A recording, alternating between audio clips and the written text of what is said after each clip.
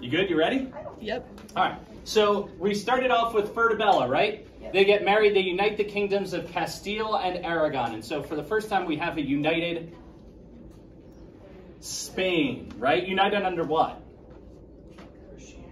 What Christianity? Catholicism. Catholicism, right? Catholicism. And so, because of that, everything they do is meant to unify. So, whether it's the expulsion of the Jews, the defeat of the Ottoman Turks in the Mediterranean, everything centers around that, right? So, they have some children, and those children have children, okay? Um, this is Joan is one of them, and then we have Philip the First, also known as Philip the Handsome, underneath over here. So, they're siblings. Philip the First has a child. His name is Charles the Fifth. Chucky V. Who's this dude? Emperor of the Holy Roman Empire. Emperor of the Holy Roman Empire, specifically the Spanish part, because there are two pieces as a result of him dividing the empire in two.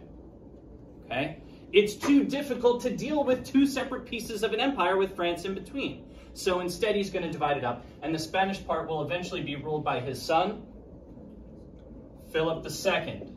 I think this one has two L's. And Philip II, what's the two word phrase we use for him? militant Catholicism or militant Catholic. Good. Okay, so we're going to pause here. Again, we got HRE. Cool. All right. Um, another child, a child of Joan's, is a, a young woman by the name of Catherine. And where's Catherine from? Aragon. Aragon. Catherine of Aragon. Okay? And we're going to come back to her in just a minute because she is betrothed to the Prince of England at the time. His, uh, anyone know his name? John. Arthur. Okay, Arthur, Prince of England. What happens to poor Arthur? Super dead. Okay, Arthur dead. And so we have to adjust, right? The whole reason that this marriage is taking place is an attempt to create an alliance between England and Spain. So if this alliance is no longer here, that can create some issues. So instead, we're going to take a left-hand turn, and she is going to marry Henry VIII.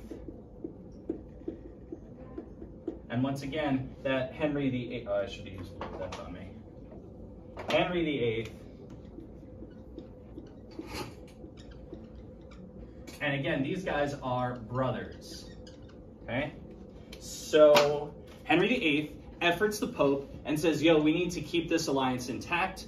Okay? So I have good news, Pope. Uh, Catherine and Arthur never consummated the marriage. Who knows? But he says, that's why it's okay for me to marry my brother's widow. Sure. Okay?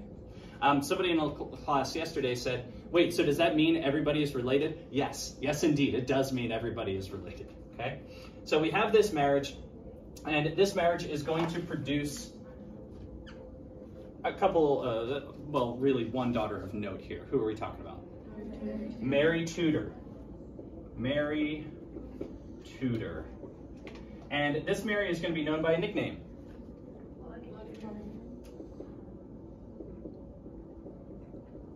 Okay? Good so far?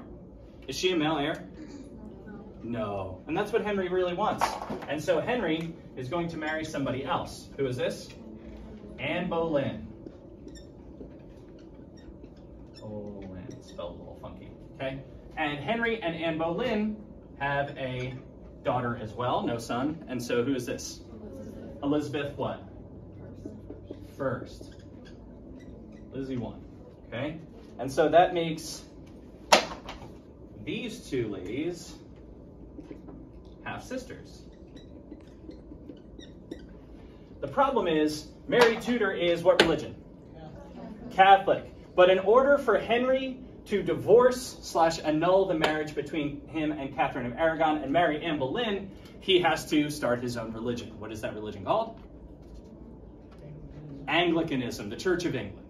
Okay? So, and again, it's like diet Catholicism is how I kind of describe the way that he views religion. Okay? Um, in order to do that, there's actually some fun context that goes into this. He tries to get the new pope to annul this marriage. The new pope says no. in part because he doesn't want to anger Charles V, since Catherine and Charles are cousins. Okay? And uh, also, Charles has Holy Roman Emperor Empire troops in Rome at the time at a conference. And so the Pope is literally worried for his safety if he were to annul the marriage and anger Charles V. Is, it, is this after or before the sacking of Rome? I don't know. Right. Honestly, I don't know. Okay? So it's like 15. This is post Martin Luther. So 1520s, I'm going to say. All right. Would be my guess. Um, so because of that, that's going to anger Charles V. Cool. Um, so he can't do that, and so the Pope says no, and so Henry VIII says, fine, I'll start my own religion, right? When you're a little kid and you're playing at recess and the kids aren't playing the right way, and so you start your own game, that's him. Um, eventually, Elizabeth I will come to the throne. She is Protestant, okay, or at least tolerant, okay, some level of religious toleration, okay? And she is what's known as a person who puts her own religion aside for the betterment of everybody else. What do we call that? Secular. Politique. Politique. Just like Henry IV. Okay? She's a politique. Okay? And um, at this point, Mary Tudor is who is Catholic. Will be looking for someone to marry to increase her standing, right? So who does she marry? Philip II. So they get married. Okay? And so now they're trying to reclaim England for the Catholics. And so Philip II sends the Armada. Spanish Armada over to Elizabeth in 1588. It does get dunked on by both the Navy and the, The storms, okay, the wind. And so as a result, uh, Elizabeth I solidifies England as a Protestant alcove, yes. Kind of miscellaneous news, but did you hear about how Russia was negotiating with the Houthis to sell uh, hypersonic? No, I did not hear that. missiles? No. Um, Russia just fought Russia. So Arthur and Henry are brothers, but they're not the only siblings to come out of this marriage. Oh, wait, why did these guys send Spanish Uh, militant Catholic, right? Re-Catholicize England along with Mary Tudor. That's the goal. Okay. Okay. Um, that's not the only sibling. Probably should have made this dotted line. It's gonna bother me. There's another sibling, a part of this crew. A sister. A sister by the name of Margaret. Okay? And Margaret will have a child named Mary. This is a different Mary. This Mary is the Queen of Scots. Why do you think she's called the Queen of Scots? She marries a, the Scottish king and produces Mary Queen of Scots, which is an attempt to, again, consolidate power within the royal family. Okay?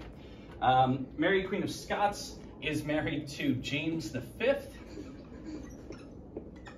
Again, this is probably jumping ahead a little bit, and they will have a son. What do you think that son's name is? James the Six. Sixth. You kids, you're so smart. James the Sixth. James the Sixth is James the Sixth of Scotland. This becomes important in a minute because uh, what is the name of Elizabeth's child? No children. Why? She's married to England. Okay? I don't need a man. Married to England. She rules for a long period of time. Okay? And it's a prosperous time period, one in which she actually doesn't raise taxes, which is going to become problematic in like three chapters. Okay? James VI of Scotland. Because there's no child here, the most legitimate claim to the throne is going to be his, and so he will become James the First of England and Scotland. Good there? Is this when we get So wait, that's his son. Wait, so Yes. who does? So James the sixth becomes James the first. Correct, it's the same dude. Oh, okay. But he has a new title now because there's no child here. Same dude. Okay. no James the First is going to have a child.